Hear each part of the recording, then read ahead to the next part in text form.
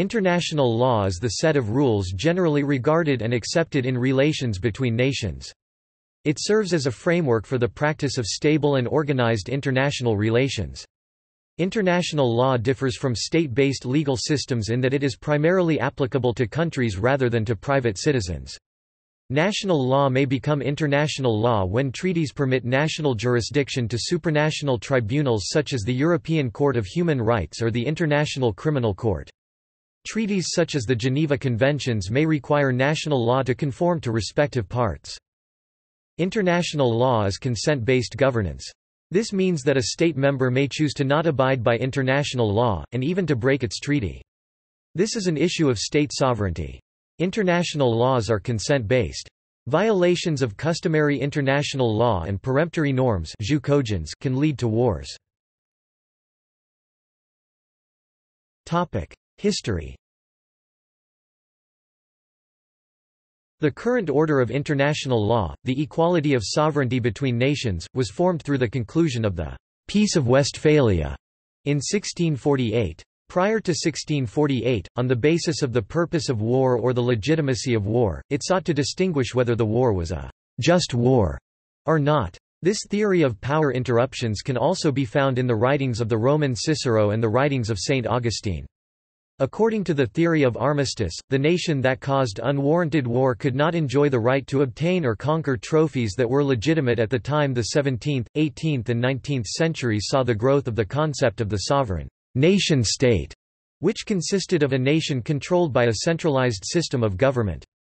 The concept of nationalism became increasingly important as people began to see themselves as citizens of a particular nation with a distinct national identity. Until the mid-19th century, relations between nation-states were dictated by treaty, agreements to behave in a certain way towards another state, unenforceable except by force, and not binding except as matters of honor and faithfulness. But treaties alone became increasingly toothless and wars became increasingly destructive, most markedly towards civilians, and civilized peoples decried their horrors, leading to calls for regulation of the acts of states, especially in times of war.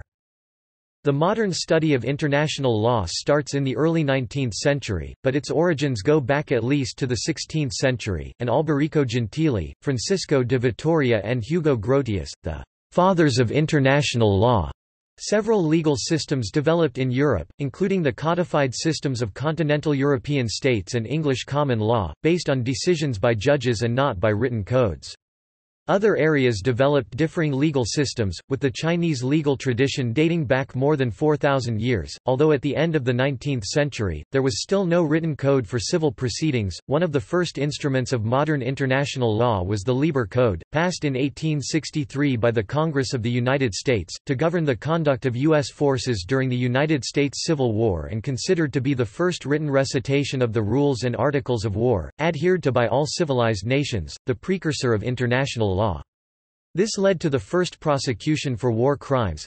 In the case of United States prisoners of war held in cruel and depraved conditions at Andersonville, Georgia, in which the Confederate commandant of that camp was tried and hanged, the only Confederate soldier to be punished by death in the aftermath of the entire Civil War. In the years that followed, other states subscribed to limitations of their conduct, and numerous other treaties and bodies were created to regulate the conduct of states towards one another in terms of these treaties, including, but not limited to, the Permanent Court of Arbitration in 1899, the Hague and Geneva Conventions, the first of which was passed in 1864, the International Court of Justice in 1921, the Genocide Convention, and the International Criminal Court, in the late 1990s. Because international law is a relatively new area of law its development and propriety in applicable areas are often subject to dispute. International relations Under Article 38 of the Statute of the International Court of Justice, international law has three principal sources, international treaties, custom, and general principles of law. In addition, judicial decisions and teachings may be applied as subsidiary means for the determination of rules of law. International treaty law comprises obligations states expressly and voluntarily accept between themselves in treaties. Customary international law is derived from the consistent practice of states accompanied by opinio juris, i.e. the conviction of states that the consistent practice is required by a legal obligation. Judgments of international tribunals as well as scholarly works have traditionally been looked to as persuasive sources for custom in addition to direct evidence of state behavior. Attempts to codify customary international law picked up momentum after the Second World War with the formation of the International Law Commission under the aegis of the United Nations. Codified customary law is made the binding interpretation of the underlying custom by agreement through treaty. For states not party to such treaties, the work of the ILC may still be accepted as custom applying to those states. General principles of law are those commonly recognized by the major legal systems of the world. Certain norms of international law achieve the binding force of peremptory norms as to include all states with no permissible derogations. Colombia v. Peru 1950 ICJ 6, recognizing custom as a source of international law, but a practice of giving asylum was not part of it. Belgium v Spain 1970 ICJ 1 only the state where a corporation is incorporated not where its major shareholders reside has standing to bring an action for damages for economic loss international law is sourced from decision makers and researchers looking to verify the substantive legal rule governing a legal dispute or academic discourse the sources of international law applied by the community of nations to find the content of international law are listed under Article 38.1 of the Statute of the International Court of Justice. Treaties, customs, and general principles are stated as the three primary sources, and judicial decisions and scholarly writings are expressly designated as the subsidiary sources of international law. Many scholars agree that the fact that the sources are arranged sequentially in the Article 38 of the ICJ statute suggests an implicit hierarchy of sources. However, there is no concrete evidence, in the decisions of the international courts and tribunals, to support such strict hierarchy, at least when it is about choosing international customs and treaties. In addition, unlike the Article 21 of the Rome Statute of the International Criminal Court, which clearly defines hierarchy of applicable law or sources of international law, the language of the Article 38 do not explicitly support hierarchy of sources. The sources have been influenced by a range of political and legal theories. During the 20th century, it was recognized by legal positivists that a sovereign state could limit its authority to act by consenting to an agreement according to the principle pacta sunt servanda. This consensual view of international law was reflected in the 1920 Statute of the Permanent Court of International Justice, which was succeeded by the United Nations Charter and is preserved in the United Nations Article 7 of the 1946 Statute of the International Court of Justice.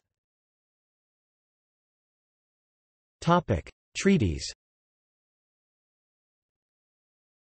Where there are disputes about the exact meaning and application of national laws, it is the responsibility of the courts to decide what the law means.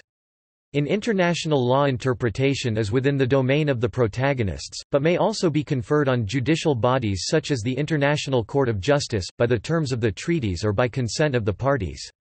It is generally the responsibility of states to interpret the law for themselves, but the processes of diplomacy and availability of supranational judicial organs operate routinely to provide assistance to that end. Insofar as treaties are concerned, the Vienna Convention on the Law of Treaties writes on the topic of interpretation that a treaty shall be interpreted in good faith in accordance with the ordinary meaning to be given to the terms of the treaty in their context and in the light of its object and purpose.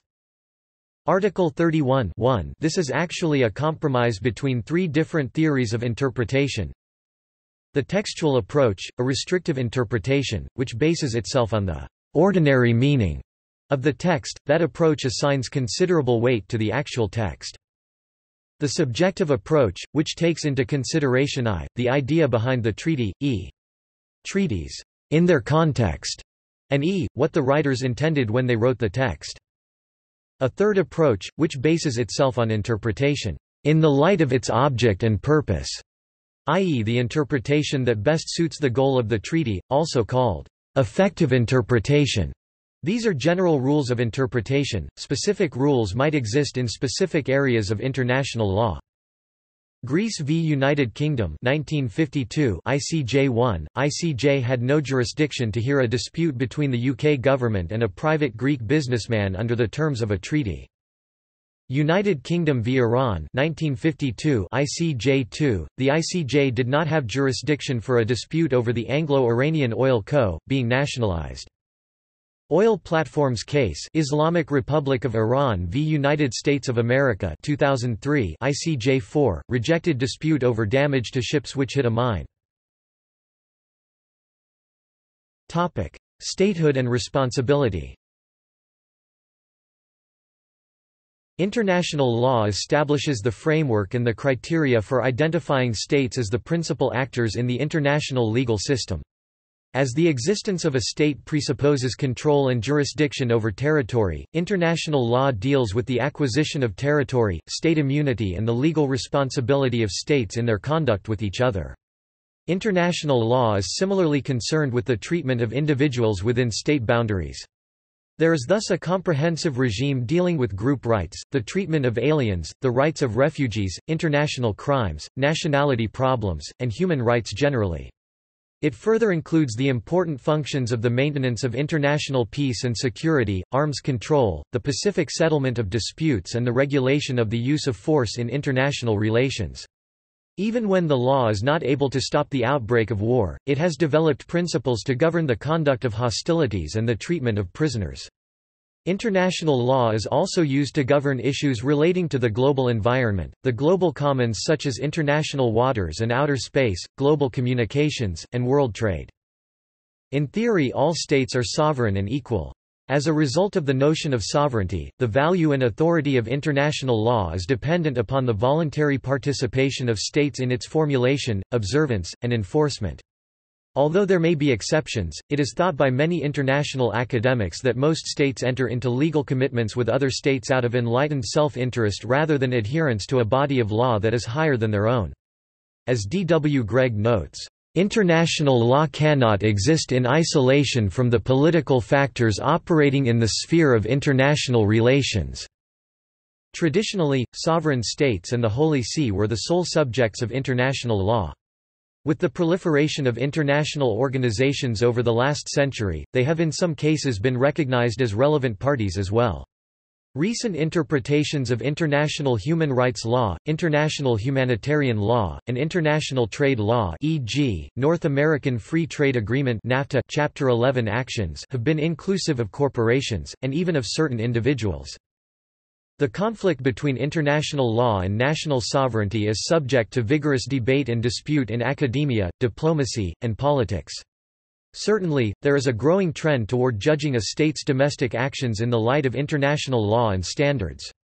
Numerous people now view the nation-state as the primary unit of international affairs, and believe that only states may choose to voluntarily enter into commitments under international law, and that they have the right to follow their own counsel when it comes to interpretation of their commitments.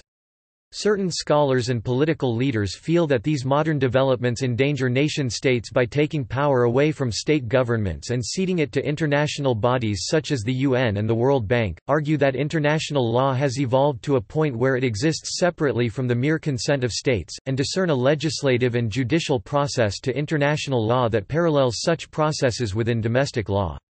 This especially occurs when states violate or deviate from the expected standards of conduct adhered to by all civilized nations.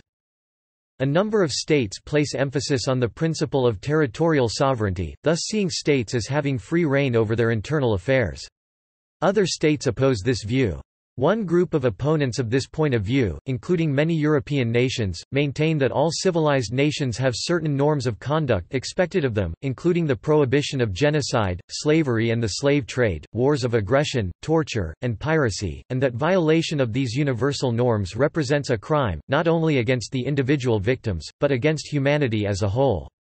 States and individuals who subscribe to this view opine that, in the case of the individual responsible for violation of international law, he is become, like the pirate and the slave trader before him, hostis humani generis, an enemy of all mankind, and thus subject to prosecution in a fair trial before any fundamentally just tribunal, through the exercise of universal jurisdiction. Though the European democracies tend to support broad, universalistic interpretations of international law, many other democracies have differing views on international law.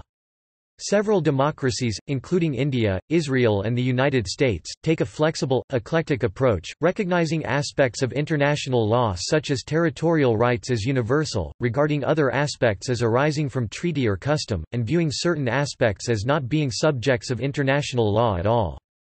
Democracies in the developing world, due to their past colonial histories, often insist on non-interference in their internal affairs, particularly regarding human rights standards or their peculiar institutions, but often strongly support international law at the bilateral and multilateral levels, such as in the United Nations, and especially regarding the use of force, disarmament obligations, and the terms of the UN Charter.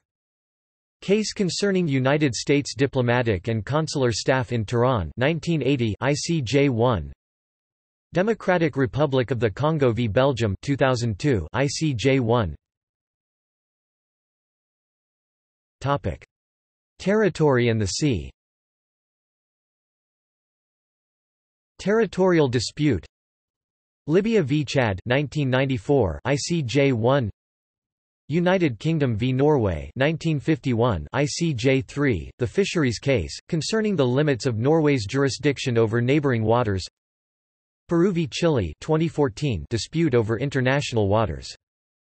Bakassi case 2002 ICJ2 between Nigeria and Cameroon.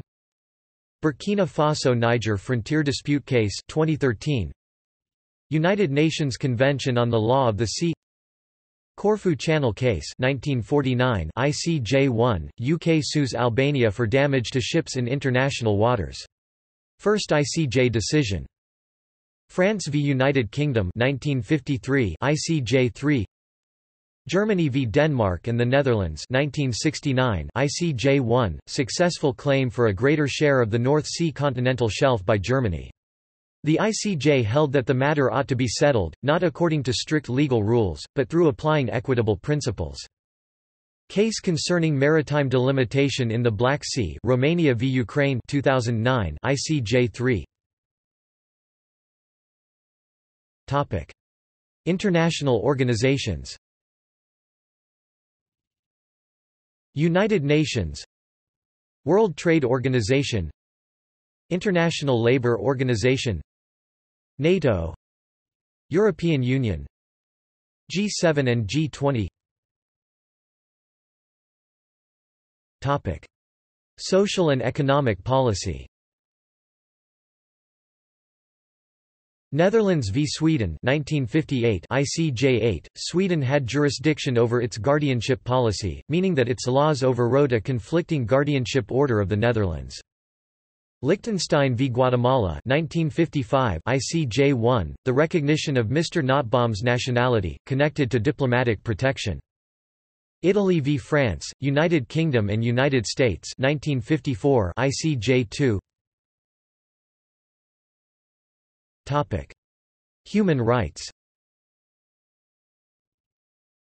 Universal Declaration of Human Rights. Croatia-Serbia genocide case 2014 ongoing claims over genocide. Bosnia and Herzegovina v Serbia and Montenegro 2007 ICJ2 Case concerning Barcelona Traction, Light, and Power Company, Limited 1970 ICJ1 Topic: Labor law. International Labour Organization. ILO Conventions. Declaration of Philadelphia of 1944 Declaration on Fundamental Principles and Rights at Work of 1998 United Nations Convention on the Protection of the Rights of All Migrant Workers and Members of Their Families the Convention on the Elimination of All Forms of Racial Discrimination 1965 Convention on the Elimination of All Forms of Discrimination Against Women 1981 The Convention on the Rights of Persons with Disabilities 2008 Topic. Development and finance. Bretton Woods Conference. World Bank. International Monetary Fund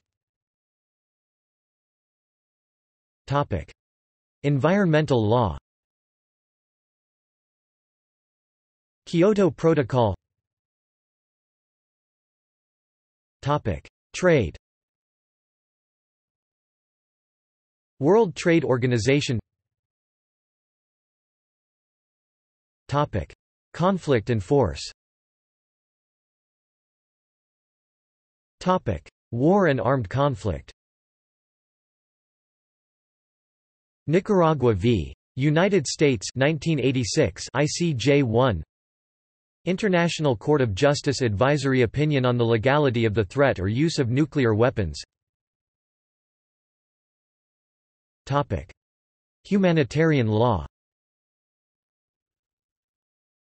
First Geneva Convention of 1949, amelioration of the condition of the wounded and sick in armed forces in the field, first adopted in 1864 Second Geneva Convention of 1949, amelioration of the condition of wounded, sick and shipwrecked members of armed forces at sea first adopted in 1906 Third Geneva Convention of 1949, treatment of prisoners of war, adopted in 1929, following from the Hague Conventions of 1899 and 1907.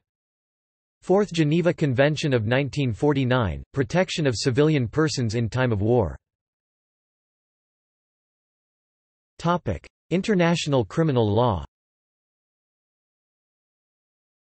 International Criminal Tribunal for Rwanda International Criminal Tribunal for the former Yugoslavia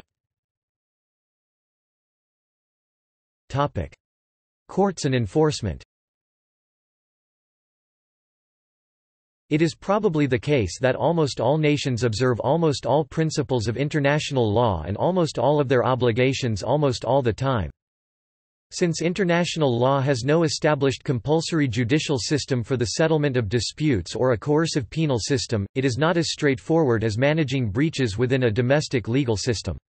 However, there are means by which breaches are brought to the attention of the international community and some means for resolution. For example, there are judicial or quasi-judicial tribunals in international law in certain areas such as trade and human rights. The formation of the United Nations, for example, created a means for the world community to enforce international law upon members that violate its charter through the Security Council. Since international law exists in a legal environment without an overarching sovereign, i.e., an external power able and willing to compel compliance with international norms. Enforcement of international law is very different from in the domestic context. In many cases, enforcement takes on cohesion characteristics, where the norm is self-enforcing, in other cases, defection from the norm can pose a real risk, particularly if the international environment is changing. When this happens, and if enough states or enough powerful states continually ignore a particular aspect of international law, the norm may actually change according to concepts of customary international law. For example, prior to World War I, unrestricted submarine warfare was considered a violation of international law and ostensibly the casus belli for the United States declaration of war against Germany. By World War II, however, the practice was so widespread that during the Nuremberg trials, the charges against German Admiral Karl Donitz for ordering unrestricted submarine warfare were dropped, notwithstanding that the activity constituted a clear violation of the Second London Naval Treaty of 1936. Topic: Domestic enforcement. Apart from a state's natural inclination to uphold certain norms, the force of international law comes from the pressure that states put upon one another to behave consistently and to honor their obligations. As with any system of law, many violations of international law obligations are overlooked. If addressed, it may be through diplomacy and the consequences upon an offending state's reputation, submission to international judicial determination, arbitration, sanctions or force including war. Though violations may be common in fact, states try to avoid the appearance of having disregarded international obligations.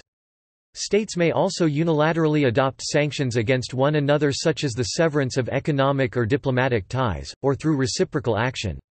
In some cases, domestic courts may render judgment against a foreign state the realm of private international law for an injury, though this is a complicated area of law where international law intersects with domestic law.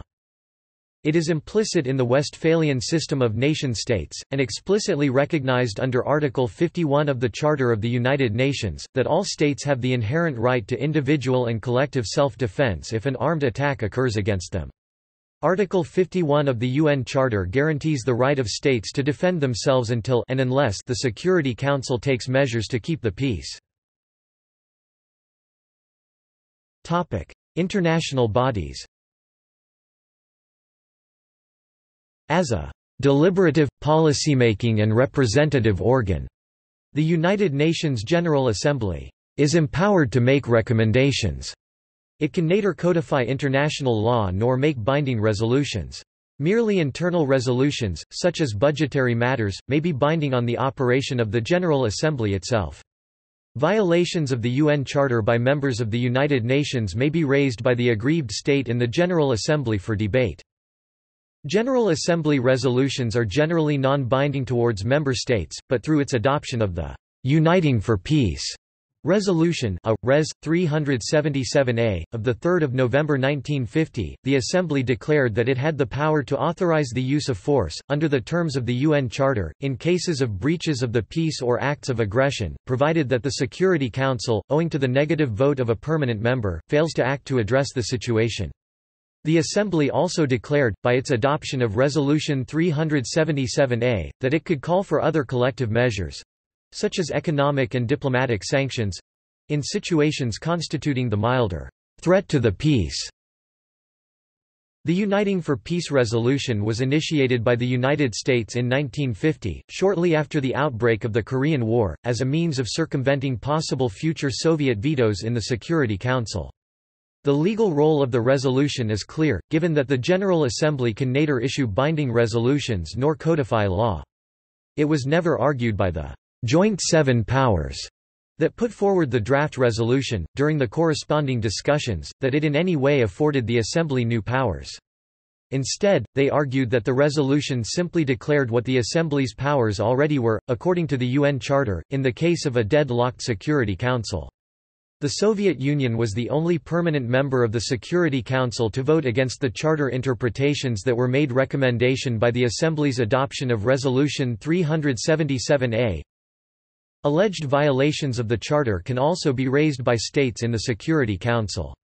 The Security Council could subsequently pass resolutions under Chapter 6 of the UN Charter to recommend the Pacific resolution of disputes.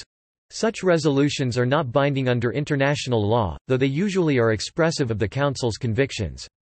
In rare cases, the Security Council can adopt resolutions under Chapter 7 of the UN Charter, related to threats to peace, breaches of the peace and acts of aggression, which are legally binding under international law, and can be followed up with economic sanctions, military action, and similar uses of force through the auspices of the United Nations. It has been argued that resolutions passed outside of Chapter 7 can also be binding. The legal basis for that is the Council's broad powers under Article 24 which states that in discharging these duties exercise of primary responsibility in international peace and security, it shall act in accordance with the purposes and principles of the United Nations." The mandatory nature of such resolutions was upheld by the International Court of Justice in its advisory opinion on Namibia. The binding nature of such resolutions can be deduced from an interpretation of their language and intent.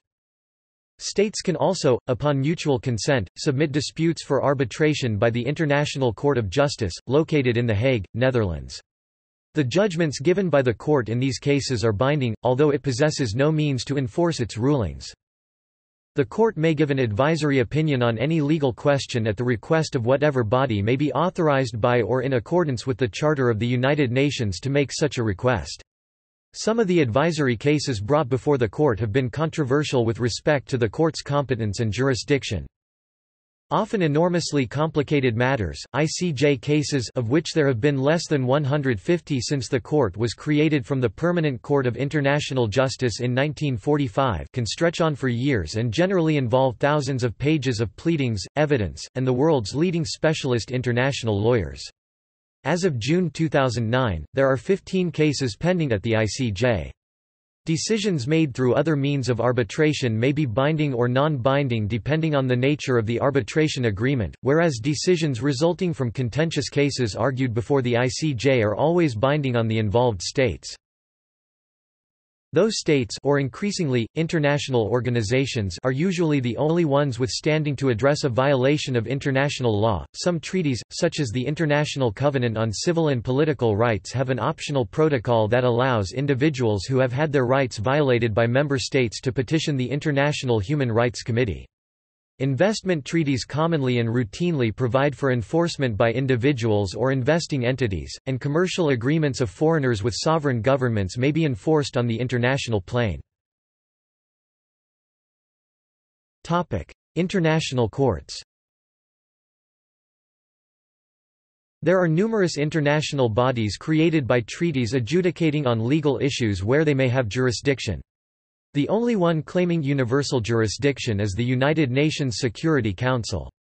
Others are, the United Nations International Court of Justice, and the International Criminal Court when national systems have totally failed and the Treaty of Rome is applicable and the Court of Arbitration for Sport. East Africa Community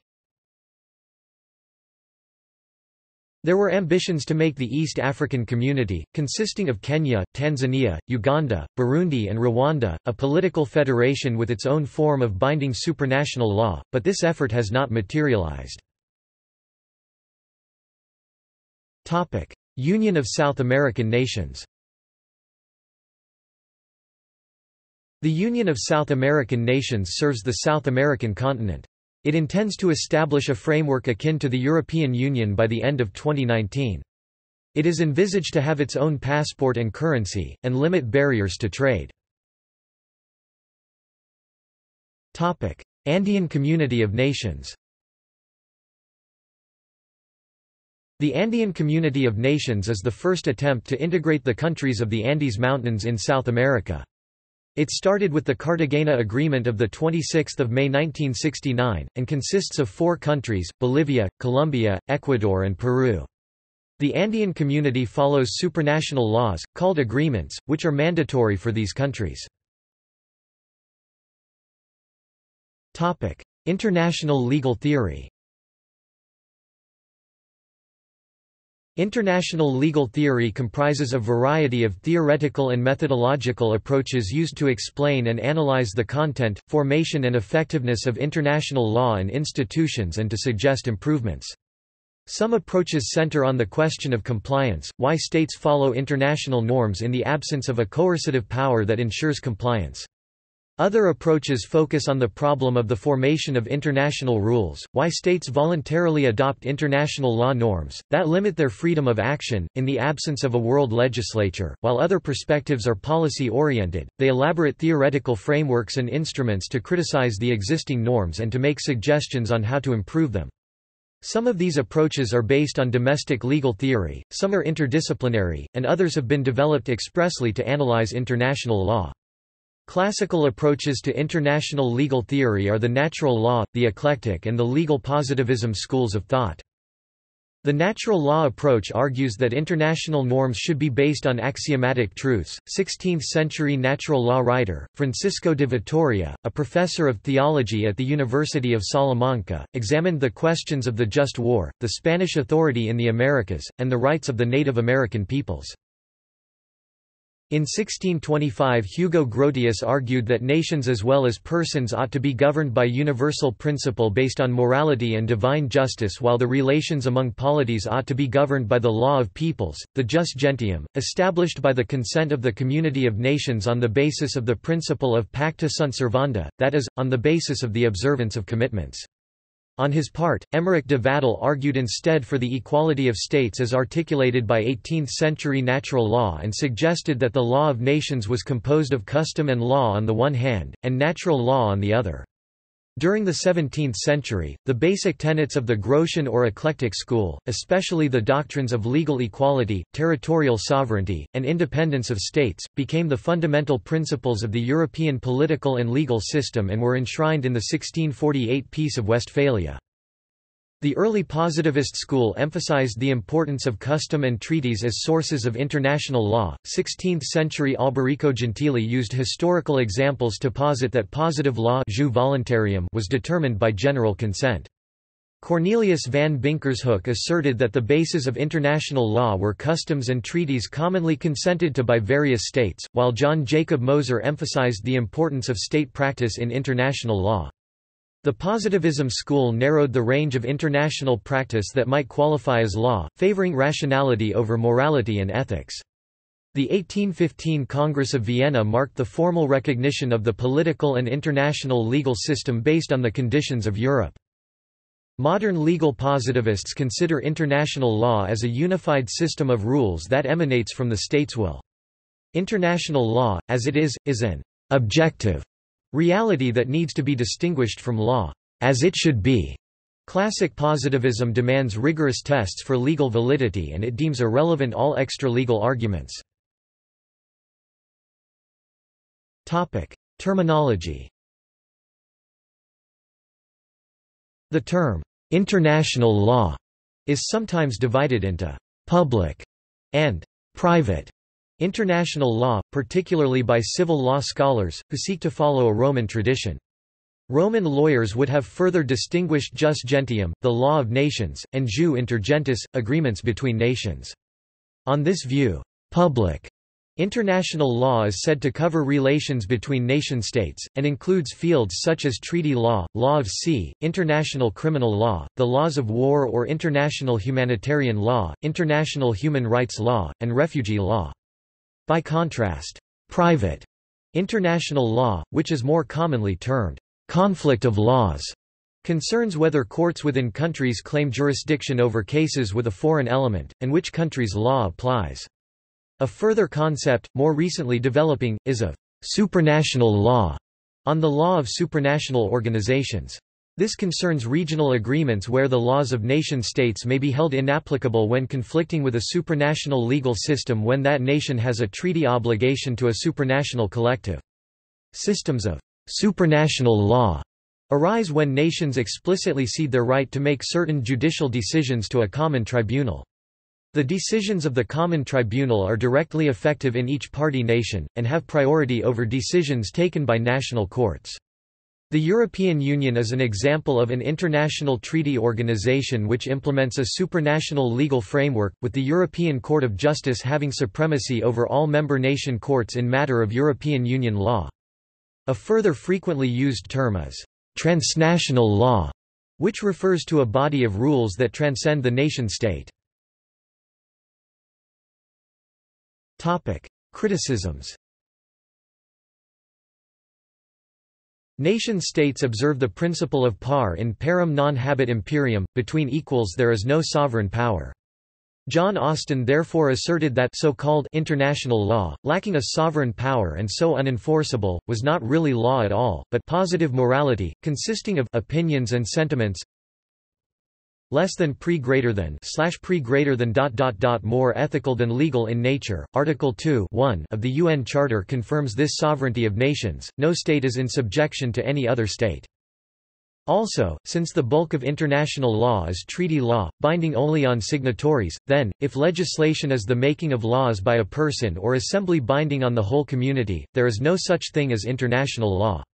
For treaties bind only those who sign them, since states are few in number, diverse and atypical in character, unindictable, lacking a centralized sovereign power, and their agreements unpoliced and decentralized, then, says Wight, international society is not a society at all.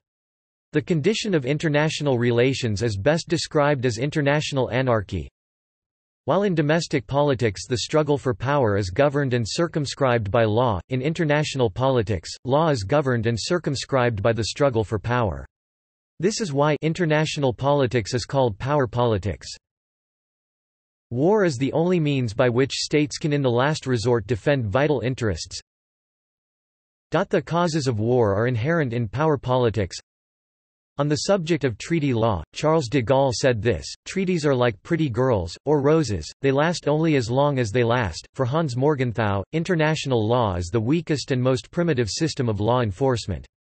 Its decentralized nature makes it similar to the law that prevails in preliterate tribal societies. A monopoly on violence is what makes domestic law enforceable, but between nations, there are multiple competing sources of force. The confusion created by treaty laws, which resemble private contracts between persons, is mitigated only by the relatively small number of states.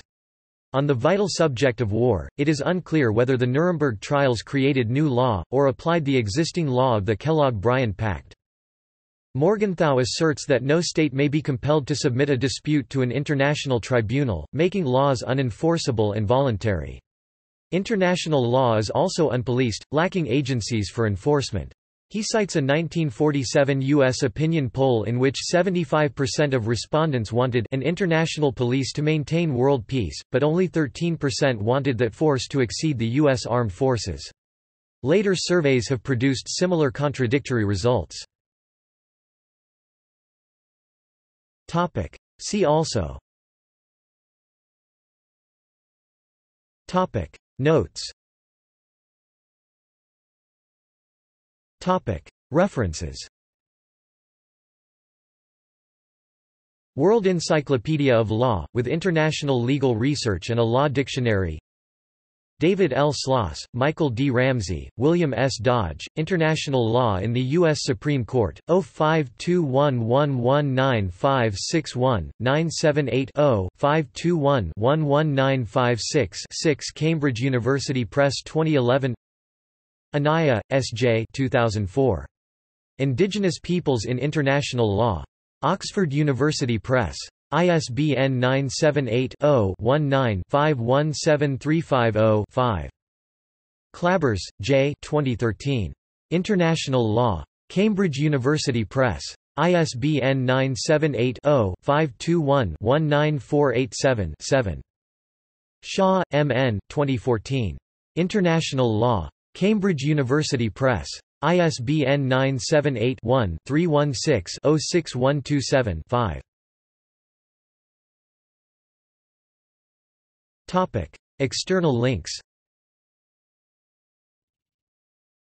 United Nations Rule of Law, the United Nations centralized website on the rule of law UNOG Library Legal Research Guide Center for International Law CIL, Singapore International Law Overview Department of International Law, Graduate Institute of International and Development Studies, Geneva Primary legal documents critical to an understanding of the development of public international law Public international law as a form of private ordering The European Institute for International Law and International Relations Public international law – resources a brief primer on international law with cases and commentary. Nathaniel Burney, 2007.